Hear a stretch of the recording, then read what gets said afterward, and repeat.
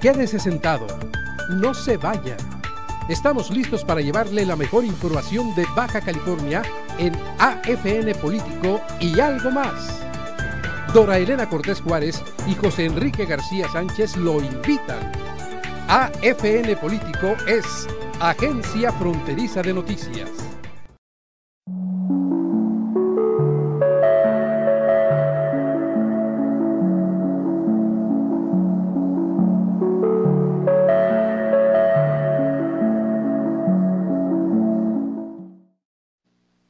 ¿Qué tal? Muy buenas tardes. Qué privilegio es estar aquí nuevamente en esta cita con usted que nos sintoniza como todos los días en punto de esta hora, en que le llevamos esta edición de AFN Político y algo más, una producción de Agencia Fronteriza de Noticias y de su directora, nuestra amiga y compañera Dora Elena Cortés. Soy Enrique García. Le invito a quedarse con nosotros los próximos 58 minutos para compartir algunos temas de interés de lo más sobresaliente que hay en el menú informativo de las últimas horas. Estamos transmitiendo a través de www.afntijuana.info, la mejor opción, lo sabe usted, para estar en contacto con la información oportuna y a través del portal noticioso líder en el noroeste del país, que es Agencia Fronteriza de Noticias, usted lo sabe, esta señal se genera aquí en los estudios de Agencia Fronteriza de Noticias en eh, delegación de la mesa, fraccionamiento Los Ángeles, aquí en Tijuana. De aquí parte al mundo entero la señal. Oiga, la dirección de correo electrónico para que siga usted eh, enviándonos sus eh, comentarios, sugerencias y recomendaciones, por supuesto, es a afnpolitico.gmail.com afnpolitico.gmail.com Si desea ponerse directamente en contacto con un servidor, hombre, la opción es Enrique García 1857 arroba gmail.com. Enrique García 1857 arroba gmail.com. Pues es ya, fíjese qué rápido, ¿no?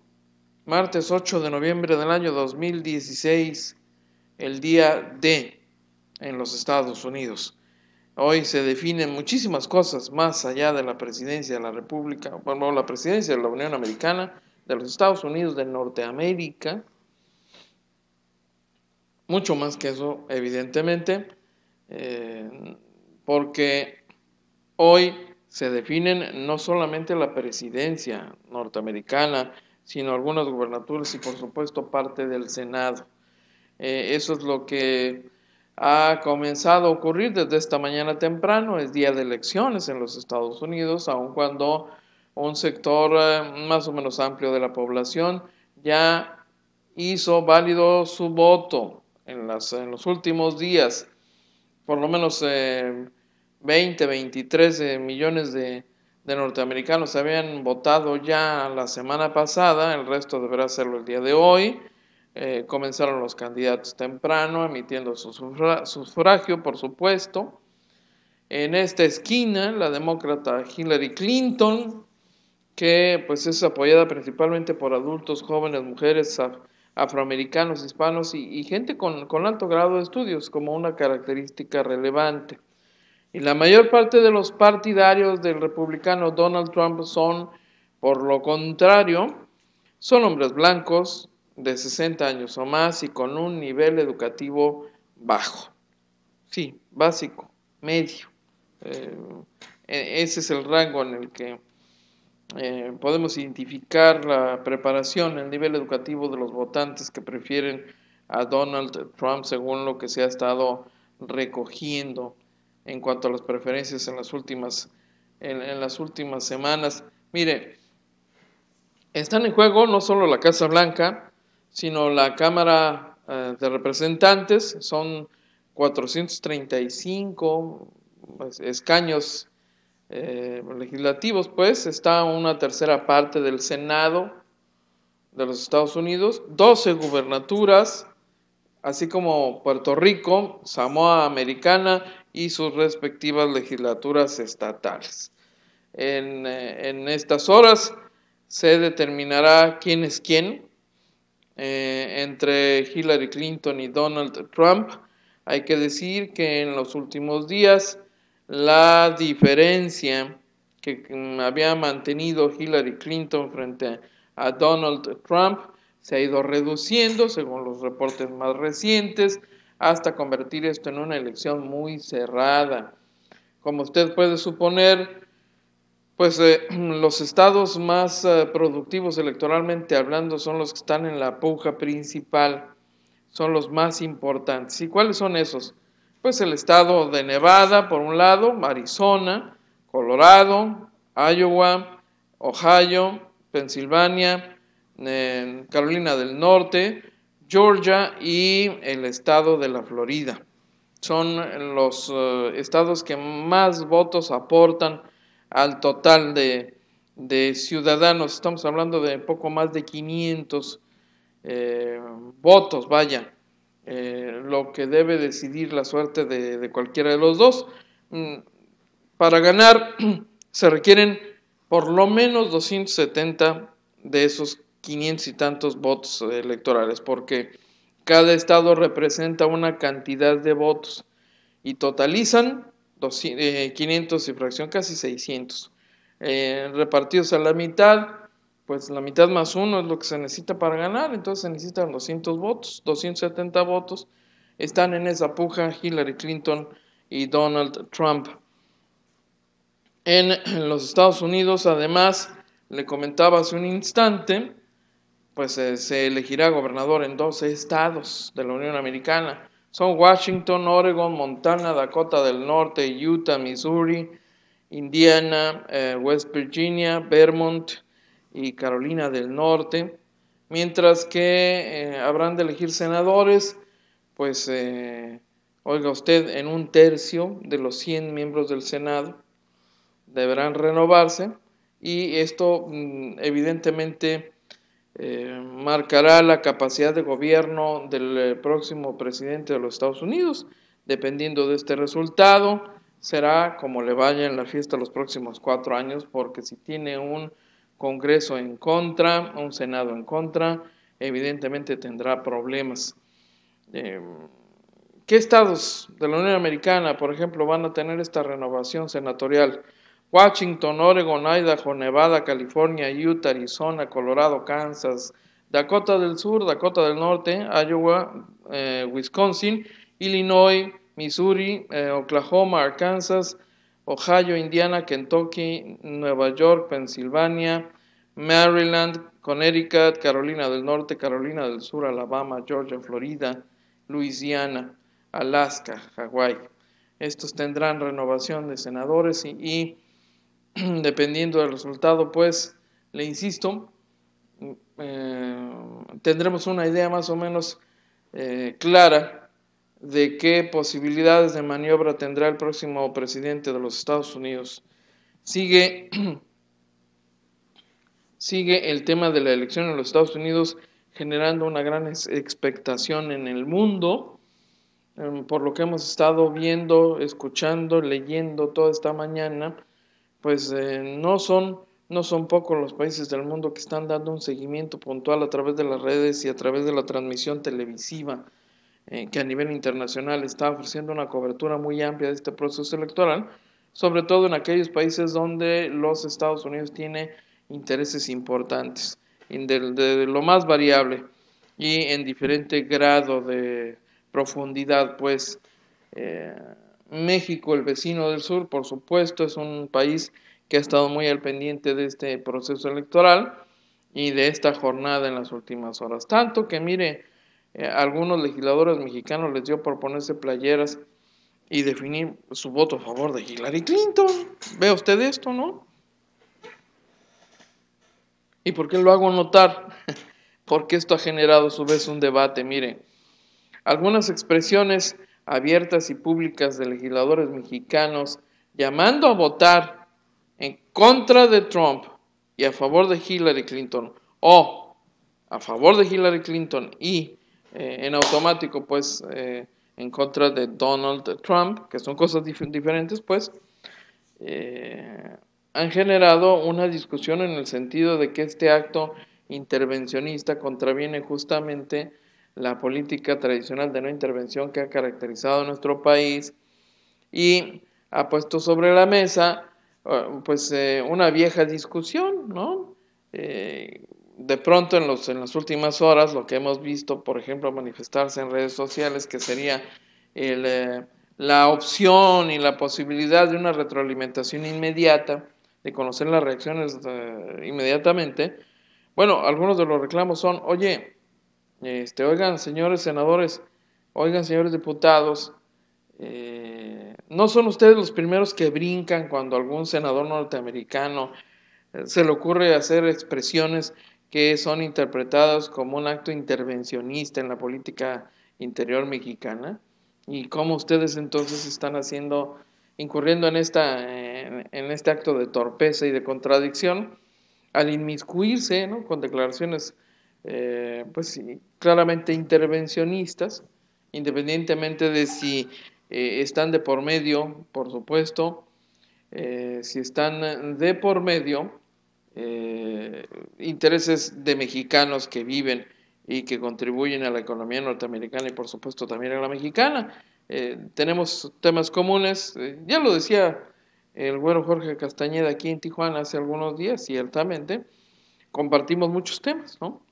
Eh, y, vaya que compartimos no solo temas, sino además eh, procesos de controversia bastante intensos, que es un tema que se ha venido abordando, por cierto, en el seno del Colegio de la Frontera Norte, donde, mire, me llama la atención destacadamente la intervención de un investigador del Colegio de la Frontera, que luego de analizar décadas de discurso, del discurso y de la retórica eh, y de la argumentación utilizada por ambos países en temas controversiales, imagínense, son eh, por su propia naturaleza temas controversiales, estos de el, el Telecán, el acuerdo del Tratado de Libre Comercio, el narcotráfico, la pena de muerte, sobre todo cuando tiene que ver con mexicanos de aquel lado de la frontera, eh, en fin, tantos y tantos temas en donde simple y sencillamente no nos ponemos de acuerdo, no más, decía este investigador, pues no más porque no usamos las formas adecuadas de comunicarnos, no nos entendemos, no ponemos sobre la mesa argumentos razonables, eh, sino mm, argumentos eh, pues en, en alguna manera contaminados por el prejuicio, por la, visión, eh, por el dogma, por eh, visiones de esta naturaleza, en vez de hacer uso de argumentos informados, pero además argumentos que caigan exactamente en el sitio donde deben caer, entendiendo eh, la, la visión cultural y el enfoque cultural que utilizan los vecinos del norte en sus planteamientos y en su retórica. Y, lo hemos visto pues en los jaloneos, en, eh, sobre todo la visión contaminada que ha dominado la discusión binacional sobre estos temas controversiales, eh, en donde mm, se ha manifestado, por ejemplo, muy, muy frecuentemente una especie de tono de reclamo, ¿no? Así nos cortamos las venas y decimos, ah, claro, hace eso porque soy mexicano, eh, etcétera, etcétera. Y son, han sido tradicionalmente argumentos de queja más que otra cosa, ¿eh? Eh, en, temas ambientales, en fin, decía este investigador. y, y es justamente la controversia lo que ha salpicado y caracterizado buena parte de la relación bilateral y, la que ha impedido, pues, por el tipo de retórica, por el tipo de argumentación, que nos pongamos de acuerdo en temas torales. Pero imagínense si el gobierno de los Estados Unidos, la población norteamericana, en este momento clave para su eh, futuro inmediato y de largo plazo, no logra ponerse de acuerdo en quién sería la persona más indicada para gobernar la Unión Americana, pues imagínense si nos vamos a poner de acuerdo habiendo dos corrientes tan diametralmente opuestas como las que son representadas en este momento por los dos candidatos, Hillary Clinton y Donald Trump. Esas dos visiones y dependiendo del turno que les toque en el ejercicio del gobierno y desde las diferentes también eh, posiciones de poder público que, hay y que intervienen en la discusión de los temas binacionales, pues imagínense si, si nos podremos poner de acuerdo eh, en, en, temas fundamentales de la discusión de un asunto como el del Telecán, por ejemplo, ¿no? Entonces, eh, en, ese, en ese estado de cosas, podemos entender que eh, pues el futuro de la ah, relación binacional va a seguir estando salpicado de eh, prejuicios y de em, desinformación y sobre todo desconocimiento del enfoque que utiliza el, el, vecino país del norte en su retórica, en su discurso, cuando aborda temas que son de interés común. ¿Qué cosas, eh? Mire, ¿qué promueve Hillary Clinton? Una legislación sobre inmigración en los primeros 100 días de su administración y en contraparte, Donald Trump promete construir un muro en la frontera sur de Estados Unidos que asegura será pagado por nosotros, por México. Eh, oh, qué caray. Le digo, un colgado. Nos están reportando en este momento aquí en el Alamar. La mayoría de los indocumentados podrán permanecer en los Estados Unidos y aplicar por una eventual ciudadanía, propone Hillary Clinton. Y Donald Trump, por su parte, rechaza crear un camino hacia la ciudadanía para los indocumentados. En algunos lugares de la frontera una barrera es apropiada, pero se opone a extender los muros la señora Hillary Clinton. Donald eh, Trump, por su parte, promete deportar a todos los migrantes ilegales, empezando con aquellos que tienen registros criminales. Dice Clinton, bastará la seguridad, basará la seguridad fronteriza en una mejor tecnología y menos agentes fronterizos. Y eh, Trump, por lo pronto, plantea eliminar la ciudadanía por nacimiento. Defenderá Clinton y expandirá las acciones ejecutivas de Barack Obama en materia migratoria Donald Trump va a terminar con las órdenes ejecutivas de Barack Obama en materia de migración. Eh, dice Hillary Clinton que va a mantener la política de Obama de deportar a criminales violentos y Donald Trump promete crear una fuerza especial para deportaciones. Hillary se manifiesta en contra de las redadas de la actual administración que separan familias. Donald Trump se compromete a recortar recursos a los ciudadanos santuarios que dan refugio a los indocumentados. Hillary Clinton no se ha manifestado en, el tema de las ciudades santuario. La posición de, de, Donald es esta que le acabo de comentar respecto a las ciudades santuario, pero además Donald Trump buscará reforzar el sistema de verificación de identidad para los migrantes y la emisión de visas. Eso es en, el tema de la migración y de alguna manera pues el tema de la política exterior, pero aplicado exclusivamente al tema de la migración. Eh, un tema que nos eh, pegará sin duda, bueno, son varios, el, terrorismo, eh, el manejo, el enfoque, la actuación de la administración norteamericana respecto a temas de terrorismo que tienen, unas, tienen altas implicaciones en materia de seguridad doméstica y, por supuesto, para quienes estamos muy frecuentemente en contacto con esa nación, evidentemente también nos incumbe, sobre todo a quienes eh, por la ah, ubicación geográfica tenemos todavía una relación más intensa con ese país, los fronterizos, en el comercio, por ejemplo, Clinton asegura que buscará acuerdos de libre comercio para crear empleos en los Estados Unidos y Donald Trump dice que buscará acuerdos de libre comercio eh, con el mismo propósito. Eh, no, no, ninguno de los dos especifica en qué consistirá eh, ese tipo de tarea. Hillary Clinton, pese que ayudó a negociarlo cuando fue secretaria de Estado, en realidad se opone al Tratado de Asociación Transpacífico este eh, tratado, el TPP, que ha generado controversia en nuestro país y el que le han venido apostando en el gobierno, en los gobiernos que hemos tenido, en los últimos eh, dos por lo menos, eh, aquí, bueno, un poco más, porque mm, ha sido la apuesta del gobierno de la República para atraer inversiones a nuestro país, desde luego en condiciones que han sido muy cuestionadas, sobre todo en materia de industria farmacéutica, donde ya saben los grandes intereses de las transnacionales, pues tienen mano en la discusión y en la definición de, este tipo de agendas. La mayoría de los consorcios, de las multinacionales, de la alimentación, la salud y demás, dominan eh, esta nueva relación que se está planteando entre una cantidad de países entre los que figura desde luego nuestro, el nuestro. Donald Trump ha reiterado que está buscando eliminar o renegociar el Tratado de Libre Comercio de América del Norte, como puede usted ver, eh, en materia de tratados internacionales relacionados con el comercio. Bueno, eh, la posición en esta administración entrante será indudablemente en contra de este tipo de tratados, básicamente. Hillary Clinton dice que va a apoyar la banca de exportación e importación.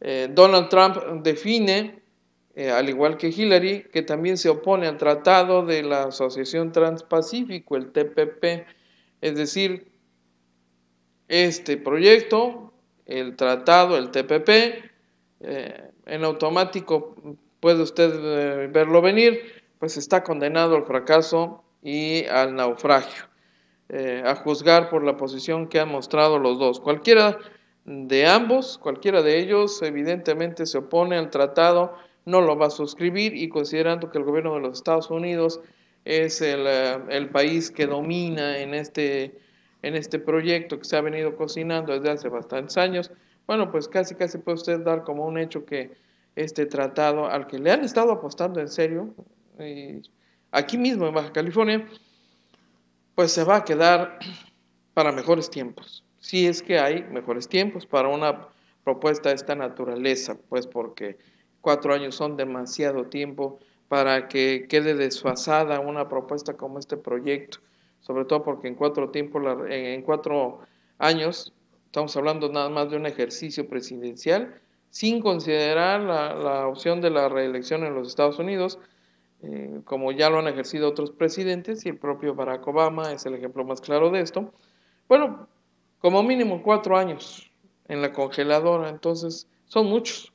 Donald Trump en eh, esta lista comparativa, en el tema de comercio, pues eh, afirma que China ha robado muchas fuentes de empleo a los Estados Unidos y que es un manipulador de divisas. Entonces, pues ya puede usted eh, tener una idea más o menos clara de lo que espera la relación de los Estados Unidos con China y por, eh, por ende, por añadidura, lo que nos toca a nosotros, pues, porque finalmente, eh, si el vecino del norte, que es nuestro socio principal, no, le, no quiere tratos con China y de, hecho puede confrontarse con China, bueno, nosotros estaríamos entonces en un escenario complicadito en nuestra propia relación con China, digo, para no molestar al vecino y al, al al, cliente mayoritario. Ya sabe usted cómo se manejan las cosas.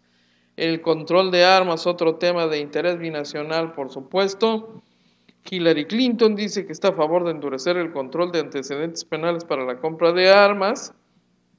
Donald Trump, por otra parte, eh, se ha declarado un defensor de la segunda enmienda constitucional que señala el derecho de los norteamericanos de tener armas. Entonces, eh, de alguna manera van en el mismo sentido. Hillary Clinton no tiene una posición que reduzca la venta de armas, que limite la venta de armas, simplemente la vuelve, eh, le aplica un, nivel un poquito más alto de exigencia, eh, un requisito más riguroso, pero hasta ahí. Hillary propone cerrar lagunas peligrosas en el sistema actual. Donald Trump plantea reforzar la lucha contra criminales violentos en ciudades problemáticas. Seguramente va a traer algunos cuantos Robocops. Hillary Clinton plantea mantener un registro de distribuidores y fabricantes y responsables de armas. Donald Trump propone capacitar a los propietarios de armas que respeten la ley para defenderse a sí mismos. Hillary Clinton habla de que evitará que las armas lleguen a terroristas, delincuentes violentos y enfermos mentales. Y Donald Trump cuenta con el apoyo de la Asociación Nacional del Rifle por sus siglas en inglés, entonces, pues eh, evidentemente es, un hombre a favor de mantener armada a la sociedad norteamericana eh, y, con menos controles que los que plantea Hillary Clinton. Finalmente, ninguno de los dos se opone a, a, cercenar, a violentar, a limitar el comercio de armas. Ninguno de los dos, finalmente. Solo Hillary Clinton que ofrece un poco más de controles. Y eh, en estas condiciones, pues, estos son algunos de los temas que están en juego, desde luego, en este proceso electoral que concluirá en unas horas más y que tiene entre los elementos destacados, pues la decisión en el estado de California sobre la eh, despenalización de la marihuana y su, su, aprobación para ser eh, comercializada, distribuida legalmente, etcétera, etcétera, etcétera, lo que eh, seguramente va a revitalizar la discusión en nuestro país, particularmente de quienes coinciden con esa postura, le apuestan a la despenalización de la marihuana y le apuestan pues a la, a la aprobación, ¿no? Eh, disimulada o, o, como usted quiera, pero vaya, como, bueno, lo propone el propio Jorge Castañeda, que seguramente estará en las boletas buscando la candidatura presidencial por la vía independiente que ha insistido en que es, eh, que es una estupidez, porque esas son las palabras que ha utilizado Jorge Castañeda Goodman, una estupidez seguir enviando al matadero a eh, elementos de las Fuerzas Armadas eh, para impedir, para cuidar, para proceder en contra de este estatus, ¿no? este, este sistema operativo eh, que se hace cargo de todo, ¿no? La producción, la distribución, venta y control del consumo de la marihuana en nuestro país y para efectos de exportación clandestina hacia el país del norte, ¿no? Entonces dice que es un absurdo y que por eso propone, por ejemplo, y lo dice alguien que fue canciller, secretario de Relaciones Exteriores, eh, él de plano propone pues eh, ya dejarnos de cosas y, ahorrarnos el, costo sangriento, dejar de poner los muertos, porque finalmente el país del norte no va a dejar, no va a dejar de ser un país marihuano. Pinches gringos, dijo eh, Jorge Castañeda, haciendo reír a todos los presentes en este encuentro con los empresarios de la Coparmex en Tijuana hace algunos días, dijo, pinches gringos marihuanos, me caen re bien, dijo. Dijo, bueno, yo, yo creo que eh, Jorge Castañeda también la fumó de joven, ¿no? no he leído si, si la fumó de joven o no, pero tiene un especial ánimo, gusto, este, eh, por el tema, ¿no? Porque además este, le destacó ahí algunas bondades. Una de ellas dijo, pues es que los que fuman mota, los que fuman marihuana pues, están a favor de Hillary Clinton, ¿no? Y, los que están a favor de, Donald Trump, eh, pues no, no la fuman. Entonces, como hacían sentir que eran unos vatos alivianados los que están a favor de Hillary Clinton, este, cool, gente cool y alivianada, ¿no? ¿Se la habrá fumado? Y, no se me ocurrió preguntarle, porque además no hubo mucha oportunidad de, hacerle muchas preguntas ahí a Jorge. Asediado, solicitado, ya sabe usted, ¿no? Tiene muchos amigos aquí en Tijuana, entonces no hubo gran posibilidad de profundizar, salvo en un par de temas con él, pero este, ya me quedé con la duda. ¿eh?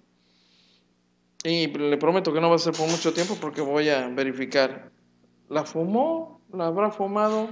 En todo caso, también la, habrá fumado Vicente Fox Quesada, el expresidente Fox, porque pues él es un promotor entusiasta, incansable, siempre pensando como, como empresario, sobre la beta productiva y económica que representa el comercio de la marihuana en nuestro país, todo el proceso, desde la producción, la comercialización, la venta, la distribución, desde luego el consumo eh, de la marihuana, que para él es, una beta eh, muy, muy productiva económicamente, pero que también contribuiría, dice, pues eh, a ahorrarnos el baño de sangre en torno a un producto que allá del otro lado les fascina, les encanta, les encanta y les re que te encanta, a grado tal que ya la producen eh, en laboratorio y producen una variedad pero impresionante. Yo le, recuerdo que alguna vez abordamos este tema aquí en este espacio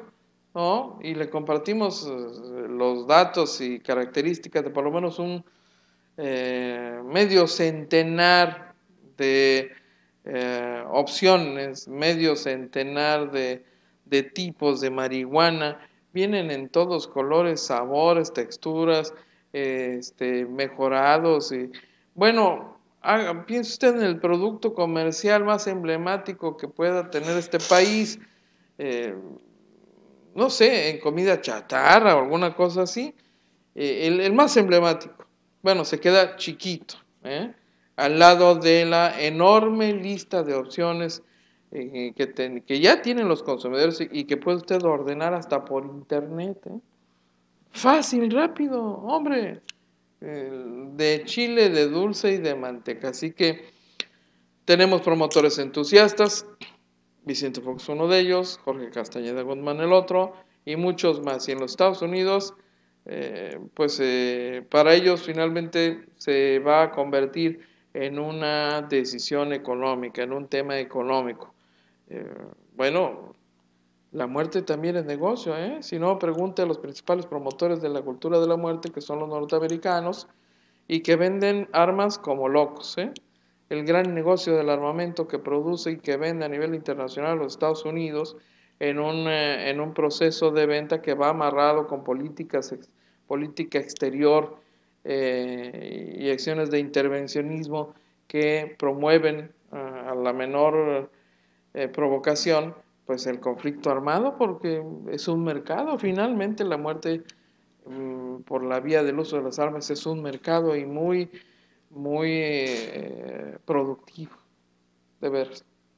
Vamos a una pausa y regresamos, por supuesto. Yo le recuerdo la invitación que nos hace a todos la doctora María de los Ángeles Salazar Méndez y su profesional equipo de médicos en Grupo Evimeria, cuyos datos de contacto están en pantalla en este momento Háblele a la doctora, haga su cita, que lo dejen como nuevo, que lo dejen así, mire, papucho, ¿eh? Así. Para irnos, ¿qué? A bailar a las pulgas, el mejor lugar para bailar en este pueblo. Y, pero eso será después de irnos al buffet, ahí a Plaza Café de Gran Hotel. Regresamos. Al regresar, más información en AFN Político y algo más.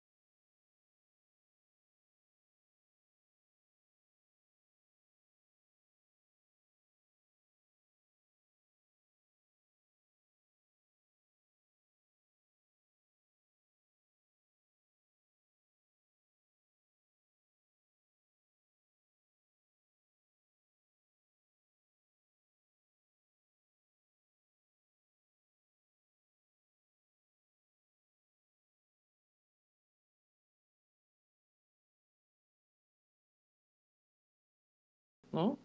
De un homicidio. Esto es a la altura del Boulevard Alamar y el Terán Terán. Están en el operativo en este momento, allá. Y bueno, eh, las imágenes, el video eh, tomado por uno de nuestros compañeros, usted lo puede eh, encontrar en la página de Facebook de la propia agencia. Ya sabe usted que Agencia Fronteriza de Noticias está presente en presente a través de Facebook y ah, ahí podrá usted encontrar video tendremos más información en un momento más, pero lo que es todavía más nuevo, recién salido del horno, es este dato importante. Mire, ha fallecido en la Ciudad de México, es esto desde hace un instante. Eh, ha muerto Carlos Otal Namur Carlos Otal Namur fue un controversial comandante de la Policía Municipal en tiempos del alcalde Jesús González Reyes. Mm, controversial porque se vio involucrado en más de un asunto, en más de un escándalo. Se le vinculó en algún momento, usted debe recordarlo, se le vinculó con el narco, se dijo que era sospechoso de tener relaciones e intereses con el narco y fue fue detenido, si, si mal no recuerdo, fue uno de los eh, detenidos en aquel dichoso tecatazo que ya ocurrió hace varios años, cuando, bueno, siendo secretario de Seguridad Pública Julián Leizaola Pérez, fueron concentrados en la Academia de Policía por allá cerca de, Tecate, pues eh, muchísimos mandos policíacos desarmados y de ahí llevados en autobús al aeropuerto y del aeropuerto, bueno, simplemente eh, los pusieron fuera del alcance de, todo cuerpo de seguridad baja californiano, fuera del alcance de sus propios familiares, en fin. Carlos Otal Namur, quien ya acusaba algunos problemas de salud de tipo cardíaco, eh, se llevó el susto de su vida, según platicaría poco después, cuando fue liberado y reinstalado en su trabajo porque el alcalde le dio el voto de confianza. Aparentemente libró ese incidente, ese asunto, pero su hijo en otro momento también estuvo eh, vinculado al escándalo, ligado al escándalo, eh, por haber tenido problemas con la ley, con la justicia también.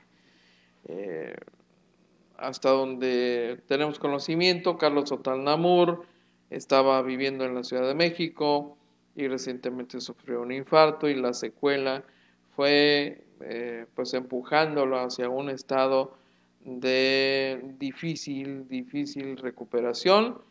Eh, se fue complicando su cuadro y finalmente ha muerto Carlos Otalnamur, pues hasta donde hemos podido saberlo hace algunos momentos, producto de complicaciones cardíacas.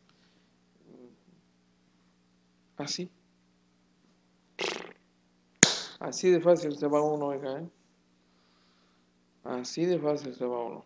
Carlos Otán Lamor la vio cerca más de alguna ocasión. Eh, finalmente cumplió la cita con su destino. No hay todavía mayor información, se lo vamos a, ampliar eh, en algún momento más. De hecho, la información todavía no está en, disponible en el portal de AFN. Le estoy adelantando lo que leerá usted en unos minutos más en el, portal de Agencia Fronteriza. Y, la confirmación, pues, del fallecimiento de, este hombre, eh, Carlos Otal Namor, un hombre como de unos, unos 70 de estatura, unos 75, ¿no? barbado, pelo chino. Eh, no tenemos a la mano la imagen de, Otal Namur para compartírsela, pues seguramente se la vamos a, compartir con la información en un momento más en el portal de Agencia Fronteriza de Noticias. Descanse en paz, Carlos Otal. Mire, uh, Hillary Clinton ha ganado en la isla de Guama. Es uno de los primeros resultados La isla de Guam es el primer territorio norteamericano en divulgar datos de la votación y la candidatura eh, de Hillary Clinton pues se ha impuesto ahí en esta comunidad ganándole Donald Trump. Ese territorio que se encuentra ubicado por cierto ahí en el Pacífico y que tiene además pues eh, ¿qué le puedo decir? 15 horas de, adelanto ¿no? en comparación del horario de Washington pues ya contó sus 32 eh, votitos, ¿no? Bueno, 32.071 votos depositados en las urnas, pues, pero le recuerdo que cada, eh, cada estado de la Unión Americana representa unos cuantos votos, algunos este, 10, 20, 50, ¿no? La demócrata Clinton recibió en 71.63% de los votos, mientras que Donald Trump, el republicano, recibió el 24.16%. Eh, esta isla, apodada el lugar donde comienza el Día de Estados Unidos, pues tiene una significación simbólica porque, mire, ese territorio realmente no tiene representación en el sistema del colegio electoral y no aporta ni un solo voto para determinar los 538 compromisarios que deciden la presidencia, pero, pero, los votantes de Guama, que, es, que había sido un territorio español hasta entrando ya casi al, siglo 1900, eh, votaron en línea con el resto del país y han acertado y han decidido eh, cuál es su, su ánimo social, su preferencia, su simpatía. Así que ahí está el resultado. La isla de Guam, el primer territorio norteamericano en divulgar sus datos. Eh, es cuestión de unas horas más para que comiencen a caer en cascada los datos que nos permitirán saber exactamente cómo van a quedar las cosas. Los estados más controversiales, ya lo sabe usted, son los que están en la puja, son los que todo el mundo tiene bajo la lupa y con reflectores para evitar que haya sombras y vacíos donde pueda caber una mano santa que haga trucos, porque ah, también allá, también en San Juan hace aire, también allá hay desconfianza, por supuesto. Eh, oiga, eh, Rosarito sigue dando de qué hablar en materia de inseguridad. ¿eh? Un hombre atacado a tiros, lo matan en un bar de Rosarito. Un, changarro llamado Sports Bar La Escondida, ahí en, la zona centro de Rosarito. Eh, anoche, ya casi a medianoche, por cierto. Eh, caray. No, no hay más datos, ¿eh? No hay mayores datos. Eh, lo único cierto es pues que fue, fue asesinado. Un hombre de 50 años. Está identificado como Jesús Miguel Cortés Félix.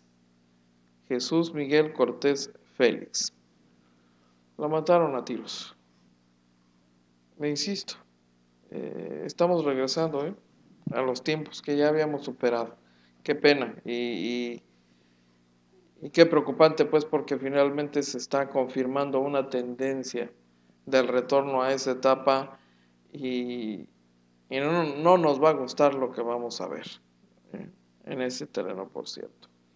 Oiga, la Suprema Corte de los Estados Unidos mexicanos, es decir, nuestra Corte, ha estado muy ocupadita en las últimas horas. ¿Por qué se lo comento? Porque eh, el tema de temas justamente el día de hoy tiene que ver con el proyecto de ley de réplica. Un proyecto que, según muchos especialistas, pretende amordazar a los medios de comunicación y censurar la expresión libre en este país eh, y tiene un tufo autoritario este proyecto, a decir de algunos especialistas que evidentemente se han opuesto al mismo.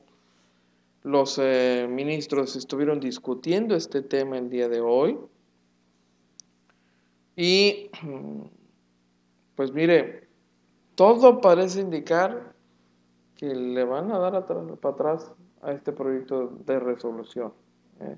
Cuatro ministros se han pronunciado en contra del proyecto y se, prevé pues un, voto en contra totalmente.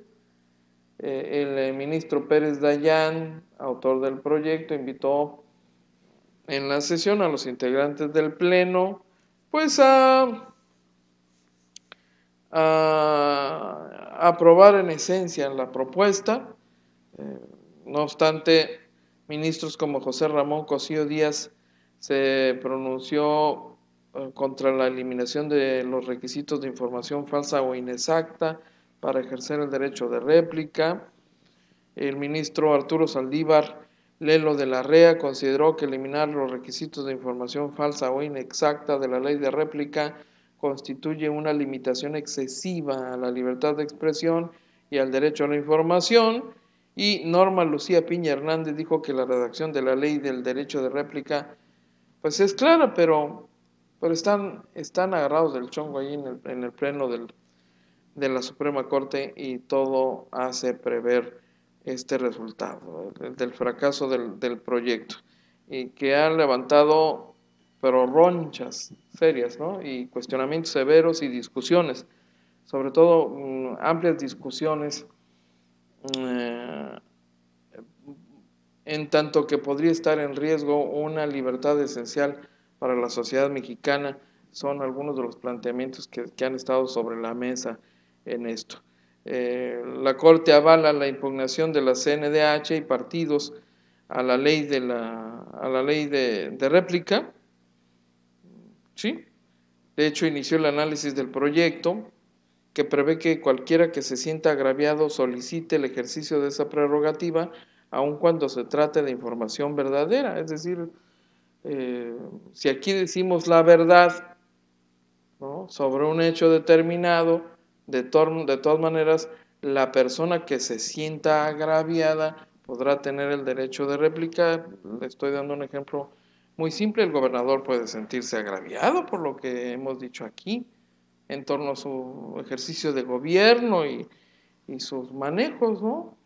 y, puede acogerse al beneficio de la ley de réplica y decir, no le aunque no, sí cierto y qué, pero quiero venir, quiero eh, venir a ejercer el derecho a réplica, ¿no? a, enmendarles la plana y a corregirles la página a ustedes los de Agencia Fronteriza Noticias, ¿eh? por, por ridículos, ¿no? Bueno, así pasa, así pasa. Por cierto que ayer hablando del tema, dije yo cuatro años, me, me escuché escuché raro, ¿no? Eh, repasando la grabación del programa de ayer, cuando decía que en cuatro años hemos visto a muchos gobernantes y hemos podido constatar y observar eh, la lógica con la que se conducen desde el poder políticos de todos los colores, ¿no? Y que hemos visto pasar en el ejercicio del poder, pues a muchos alcaldes, gobernadores, funcionarios federales y de todos niveles, colores y sabores, en los últimos cuatro años, en realidad era en los últimos, en las últimas cuatro décadas, pero pues un pequeño lapsus, ¿no? No es, no es lo mismo cuatro años que cuarenta, pues sí, no, no lo es. Pero eh, en esos términos está la discusión en la Suprema Corte de Justicia de la Nación, eh, donde hoy eh, temprano iniciaron sesión, por cierto. ¿Qué tema este? Eh, es un tema que seguirá dando mucho de qué hablar. Mire, todo lo, lo acapara la elección norteamericana en los medios de comunicación electrónicos, en televisión particularmente, hay una cobertura extraordinaria. Todos los medios de comunicación en los Estados Unidos eh, están atendiendo no solo la demanda de información de sus propios ciudadanos, sino la de... Eh, el resto de los países del mundo interesados en saber cómo van a quedar las cosas, porque de eso dependerá el futuro de su relación como nación con, eh, el gobierno norteamericano. Entonces, bueno, las celebridades se han volcado en las urnas, eh, sobre las urnas. Ya sabe que nunca han faltado eh, las figuras, las estrellas de Hollywood y muchas otras celebridades del mundo del espectáculo que se han sumado a las campañas a favor de uno o a favor de otro. En esta campaña electoral, las celebridades norteamericanas han tenido un rol muy destacado. ¿eh?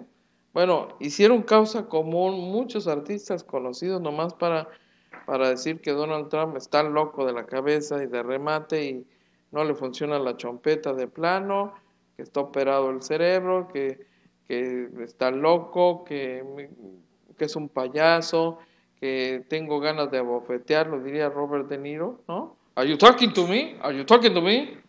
Eh, bueno, spots de esta naturaleza han abundado en los, últimos días. Y mire, pues hasta nuestras, nuestras, estrellas mexicanas también han hecho su desfile y su aportación ahí, déjeme decirle, ¿eh? porque pues hasta Vicente Fernández se hizo presente en, el estado de Nevada en un, evento de Hillary Clinton. Eh, no, pues ya puede usted imaginar la mexicanada en pleno en esa convención. Había mariachi, por supuesto.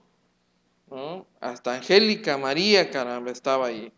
Angélica María, Vicente Fernández y los Tigres del Norte mm, llegaron a echarle porras a Hillary Clinton, a darle de besos y Hillary Clinton se dejó querer y apapachar. No, a Vicente Fernández se lo comía a besos. Ya se nota la edad de Vicente Fernández, pero mire, llegó a echarle su porra a Hillary Clinton, hasta nuestros, le digo, nuestras celebridades mexicanas han hecho acto de presencia y han participado en, en este proceso electoral. ¿eh? Mm, los más reconocidos han estado ahí atizándole y echándole porro, sobre todo convocando a la mexicanada, a la población hispanoparlante, pero particularmente a, la población mexicana en los Estados Unidos, a que defina su voto a favor de Hillary Clinton en esta, en esta elección. Y pues nuestros mexicanos no pueden ir a votar allá, pero, pero mire, pues desde luego los de casa, por supuesto, ya han tenido una cobertura extraordinaria de parte de los medios de comunicación norteamericanos. ¿eh? Le, comparto algunos datos.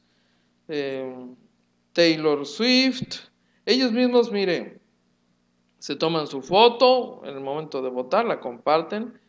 En eh, Hathaway es otro de los, otra de las figuras que ya fue a votar y se pone también su su botón definiéndose por uno de los candidatos. Y América Ferrera, su esposo, eh, Eva Longoria, la popular Eva Longoria, dijo, yo ya voté y, lo presume además. Desde luego Robert De Niro, Neil Patrick Harris también, y, todos compartiendo en las redes sociales su, su propio, su selfie, ¿no? Pues para el Face, ¿no? O para o para el Instagram, eh, que son los que usan allá las estrellas, ¿no? O Twitter. No, hombre, esto es, esto es todo un fenómeno que no veíamos hace mucho, muchos años. Qué interesante. El futuro de la relación bilateral está por definirse hoy en los Estados Unidos y, y no es poca cosa. Entonces, aquí en la frontera particularmente, bueno, no sabe la cantidad de gente que ha estado metida en el tema desde la mañana, pendiente.